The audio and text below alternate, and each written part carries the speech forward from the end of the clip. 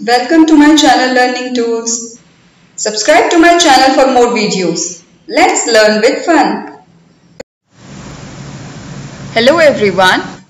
Today I am going to explain this chapter, this poem Crying to You in Hindi.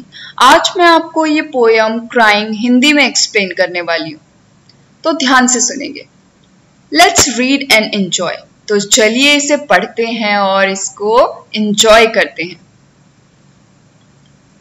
crying only a little bit is no use यहाँ पे poet कह रहा है crying only a little bit यानी कि थोड़ा सा रोने का कोई फ़ायदा नहीं है। इज़ नो यूज़ यानी कि आपको थोड़ा सा रोने से कोई फ़ायदा नहीं है। You must cry until your pillow is soaked poet कहता है, आपको तब तक रोना चाहिए जब तक कि आपका जो पिलो है यानी कि जो आपका तकिया है वो पूरा का पूरा गीला ना हो जाए। सोक्ड मीन्स कंप्लीटली वेट पूरे तरीके से गीला। सो so, पोएट यहाँ पे कहता है यू मस्ट क्राई आपको तब तक रोना चाहिए जब तक कि आपका तकिया पूरा गीला ना हो जाए।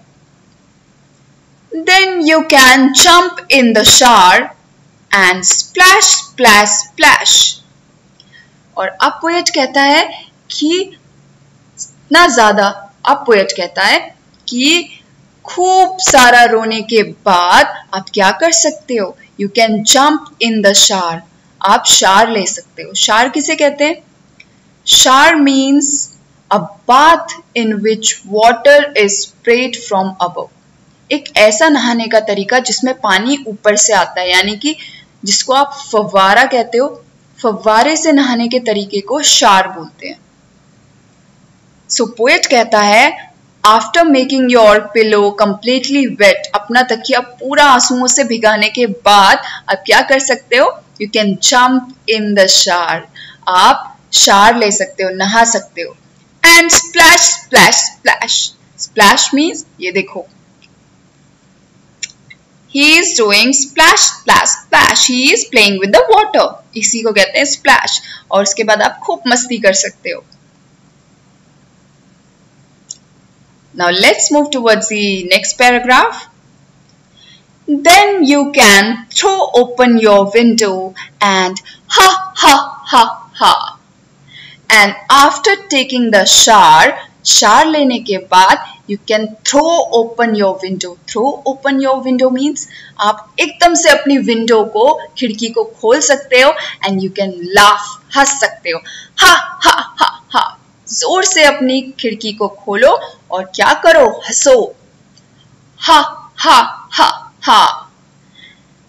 And if people say hey what's going on up there और अगर लोग आपसे कहें कि ऊपर क्या चल रहा है, hey what's going on up there ऊपर क्या चल रहा है? हा हा सिंग बैक तो गाते हुए कहो, हा हा. Happiness was hiding in the last year जो मेरी खुशी थी, वो मेरी आखिरी आँसू के पीछे छुपी हुई थी। आई वेप्ट इट हा हा.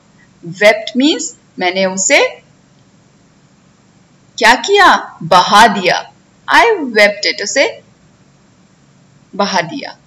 आँसू को, जो उसका आखिरी आँसू आई वेप्ट इट इसका मतलब उसने अपना आखिरी आँसू भी बहा दिया. वाई क्योंकि उसकी जो खुशी थी, वो उसके आखिरी आँसू के पीछे छुपी हुई थी.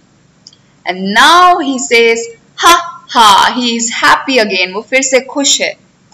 So this is the poem by Kelway Kennel ये पोएम है। If you like the video अगर आपको वीडियो पसंद आई हो then please subscribe to my channel learning tools thank you